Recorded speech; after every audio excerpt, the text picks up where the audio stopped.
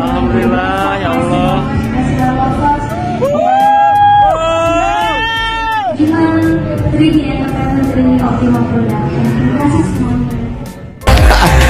Video klip dangdut terpopuler Indonesian Dangdut Awards 2022 diberikan kepada Sekali Seumur Hidup.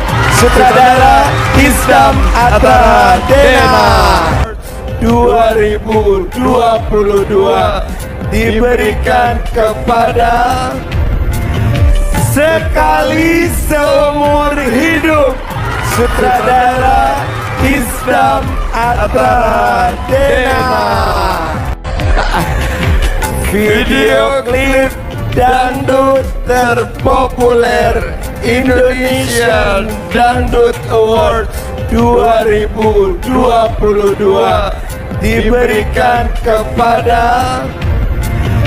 Sekali Seumur Hidup Sutradara Islam Atara Dena Video klip dangdut terpopuler Indonesian Dangdut Awards 2022 diberikan kepada Sekali Seumur Hidup Sutradara Islam Atara Dena Video klip dangdut terpopuler Indonesian Dangdut Awards 2022 diberikan kepada Sekali Seumur Hidup Sutradara Islam Atara Dena Video klip dangdut terpopuler Indonesian Dangdut Awards 2022 diberikan kepada Sekali Seumur Hidup Sutradara Islam Atara Dena Video klip dangdut terpopuler Indonesian Dangdut Awards 2000 Sukses menyabet tiga nomine sebagai penyanyi dangdut solo wanita terpopuler. Lagu dangdut terpopuler sekali seumur hidup. Video klip dangdut terpopuler sekali seumur hidup.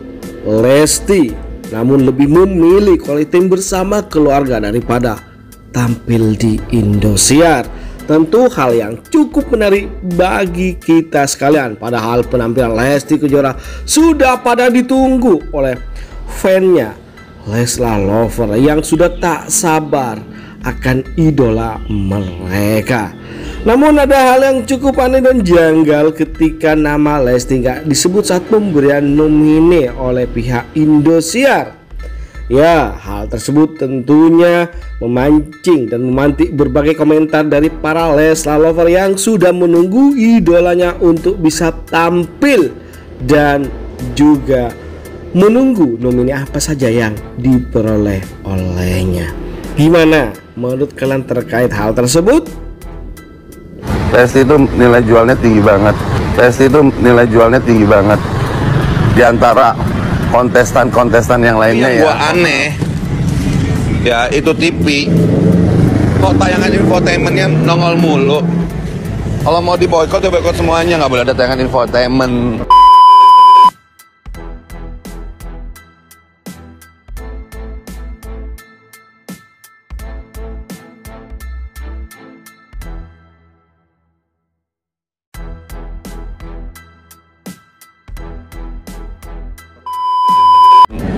Berarti kan dia masih mau dan masih ada nilai jual Leslar itu. Berarti kan dia masih mau dan masih ada nilai jual Leslar itu.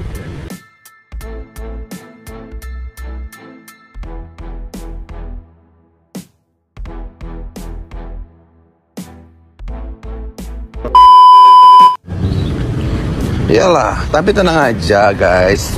Yang nggak pakai kan cuma Indosiar doang. Masih ada RCTI. Ya, masih ada MNC.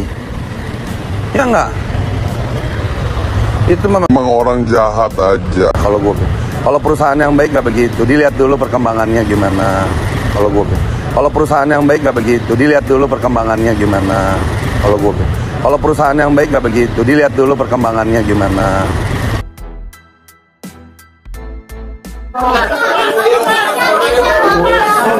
Bantu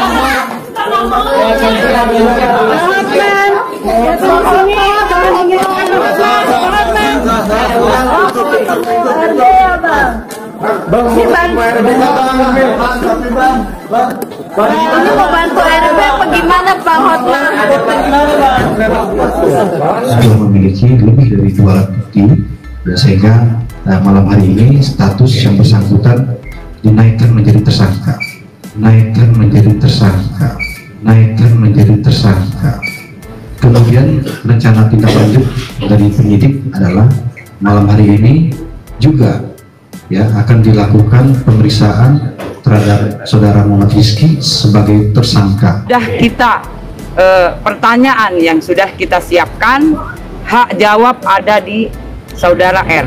Berapa Ya. pertanyaan Bu? Ada nggak Bu? Bocorannya berapa pertanyaan? Ya. Iya. Untuk pertanyaan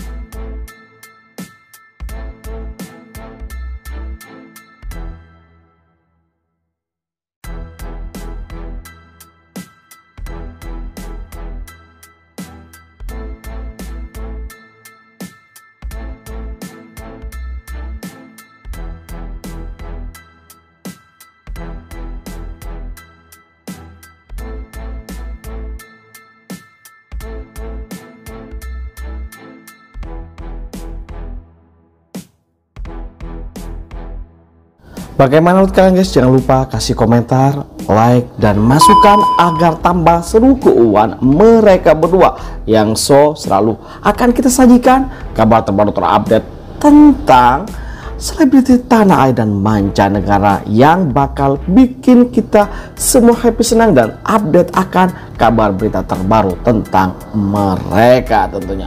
Oke itu saja kabar dari kami. Jangan lupa like, comment, dan subscribe. Terima kasih telah menonton. Yuk, bye-bye.